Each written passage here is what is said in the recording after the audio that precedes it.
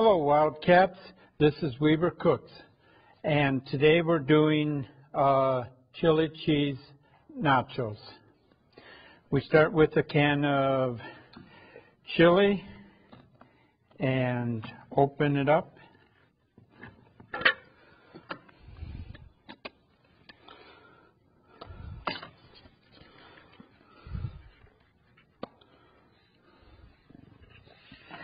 And then the cheese sauce, we just take off the lid and we pop these both in the microwave. And we set the microwave for four and a half minutes. And when that's done we'll put them in a bowl and mix it up and we'll have a dip for three to six people.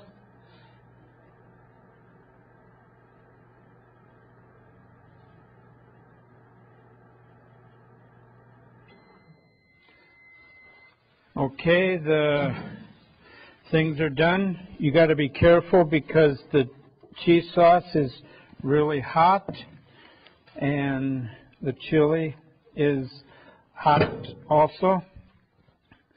We mix them both together and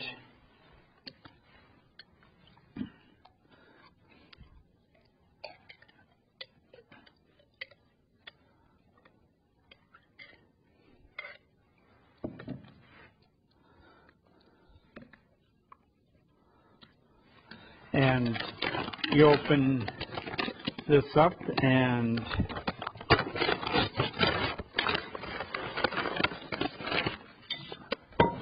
have some on a plate. And there you have it, a dip that will satisfy a small group.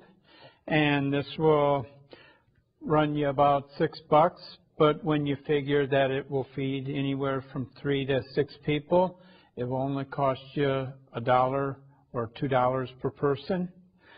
And I'm Stephen Reed, and this was Weber Cooks.